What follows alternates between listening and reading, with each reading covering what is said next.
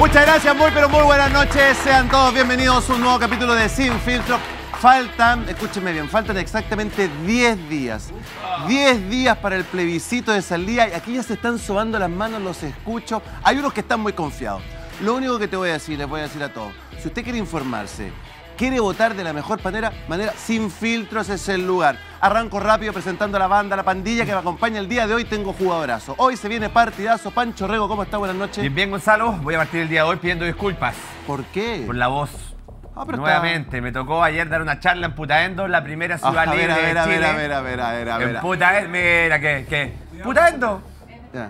No, metió charla, noche, tarde. Ya. Así es, estuvimos ayer en Putaendo conversando con los vecinos en un galpón. Me tocó estar con 100 vecinos reunidos junto a amigos de Republicanos, de Renovación, de Chile Vamos, de la derecha en su conjunto. Y en un galpón, compadre, para 100 Sí, personas. sí. Hubo que subir el tono, así que estoy un poquito tomado. Así que parto con las disculpas y mandar un tremendo saludo a todos los vecinos de Putaendo, la primera ciudad libre de Chile. Segundo, ayer me criticaron mucho en redes sociales porque dije que el presidente de la República, Gabriel Boric Font, era un mentiroso patológico. Pero ¿Cómo he- se te ocurre, Pancho, veces. decir que el presidente es un mentiroso patológico? Yo les dije, muchachos, yo no soy amigo del presidente, no me interesa ser amigo del presidente, no voy a compartir probablemente con el presidente, lo mío son críticas políticas. Y como hemos visto una campaña del en contra llena de mentiras, cuando el jefe miente, el resto también miente. Entonces, cuando el jefe es un mentiroso patológico, el resto de la campaña del en contra ha sido mentira tras mentira. El presidente no dijo que iba a condonar el CAE. Sí. No lo condonó, mintió. El presidente no dijo que iba a pagar la deuda histórica de los profesores. Sí. ¿Lo pagó? No. No. Ah, parece que mintió. ¿No dijo que en el gobierno que iba a construir no habría espacio para los pitutos? Oye, pues está toda la familia Miguel Crispi metida entre los ministerios. Parece que también mintió. Dijo que iba a limitar los sueldos, 10 veces el sueldo mínimo. Sí. Máximo, cuatro palitos. Siete palitos te ganan los asesores. Parece que también mintió, ¿no? Dijo que no, que no, que él no estaba a favor del TPP-11 y después lo firmó y lo promulgó. Parece que mintió también, Gonzalo. Entonces, hoy día estamos viendo un gobierno de mentirosos. Y cuando el presidente de la República señala que con la opción en contra se termina el proceso y cuando sus ministros y sus parlamentarios y los partidos de gobierno dicen acá se acaba el proceso con el en contra, adivina tú. Siguen mintiendo, el proceso no se acaba. Hay que votar a favor y ponerle el último clavo al octubrismo para que pase a ser una mancha negra en la historia de Chile. Porque el gobierno de Chile está en contra. Los chilenos que estábamos por el rechazo ayer, hoy votamos a favor. Ahí está Pancho Rego junto a nosotros. Es el abogado que llegó del norte grande con su maletín cargado de sueños. Amigo personal, o dicen que era amigo personal del mismísimo presidente de la República. Recién casado, Inti Salamanca. ¿Cómo está Inti? Buenas noches. Buenas noches, Gonzalo. ¿Está más delgado, Inti? Estuve adelgazando para verme bien en el traje, en el matrimonio y, mucho ejercicio, mucho, mucha dieta, ejercicio, así que estamos listos, ya estamos, como usted puede ver, Gonzalo, estamos casados ya. Ya, y- Estado civil Sí, diferente. ¡Arriba la Fue- familia! Bien. Fue, fue, fue el presidente, ¿no? Mira, Gonzalo, con respecto a eso, yo siempre le voy a dar las gracias al presidente Ya. por haber cometido los errores necesarios que me permitieron acceder al corazón de la- mi querida Margarita, así que eh, se perdió una gran mujer. A ver, a ver, a ver, a ver, a ver, a ver, a ver, a ver, a ver, a ver. No, no.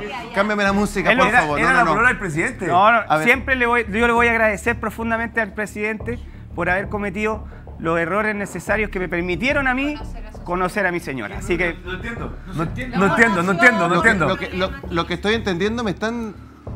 ¿El presidente Gabriel Boric fue ex pareja de su actual señora? cometió los errores necesarios que permitieron. Ah, ahora que- entendí por qué cuando subió lo querían mandar de subsecretario al norte, le querían pasar una ¡Oh, seremía. verdad! Ahora me, Fue, ahora me bueno, empieza ahora- ahora. Gonzalo, pero también estoy feliz, estoy contento porque eh, el en contra está desbordando no solamente en mi sector, ya que efectivamente nosotros hemos hecho campaña para que gane el en contra en las próximas elecciones del 17 de diciembre. eh, en donde principalmente los principales argumentos eh, para votar en contra desde mi sector es porque pone en riesgo el aborto en tres causales, porque pone en riesgo la ley Papito Corazón, porque garantiza que las AFP sigan lucrando, señora, con sus fondos de pensiones que se han enriquecido multimillonariamente.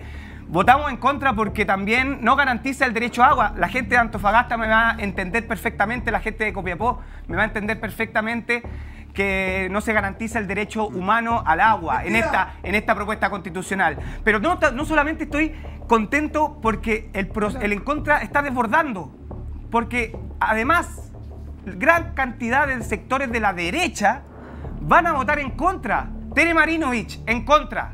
Rojo Edwards en contra. Gonzalo de la Carrera en contra. Axel Kaiser en contra. Y la principal ideóloga de la nueva derecha chilena, que es Vanessa Kaiser, ha sacado un decálogo de cuáles son los principales argumentos para votar en contra. Axel Kaiser me dice que no se ha manifestado. Lo que puedo decir, algunos de los, de los principales argumentos que señala la Vanessa es que, primero que nada, es una constitución que gran parte de la derecha va a rechazar porque no quiere ver la firma del presidente en esa constitución. Gran parte de la derecha va a rechazar porque cambia el estatus de las Fuerzas Armadas. Gran parte de la derecha va a rechazar porque eh, eh, no, eh, garantiza la autonomía del CERVEL y eso puede ser un atentado contra la democracia.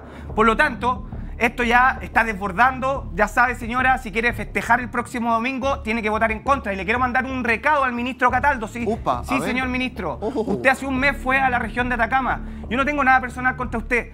Pero la verdad es que hoy día no se están cumpliendo los, los, compromisos a los cuales usted firmó hace un mes atrás, en donde se, se comprometía a eh, arreglar los colegios, proporcionar las, las, condiciones habilitantes mínimas para que los alumnos vuelvan a clase en marzo y no se están cumpliendo. Vamos a estar aquí viendo cómo se cumplen los compromisos, pero la verdad es que hoy día está, los profesorados están siendo presionados por los directores y directoras y eso no puede ocurrir. Vamos a estar encima, ministro. Ahí está, Inti Salamanca junto a nosotros. Se tiró cinco mentiras de entrada. De entrada, cinco mentiras, pero de entradita en su primera locución. Pero, me aguanta, Primero, no ha dicho nada. Aguántame un cachito. No, pero que Gonzalo, tenés que dar.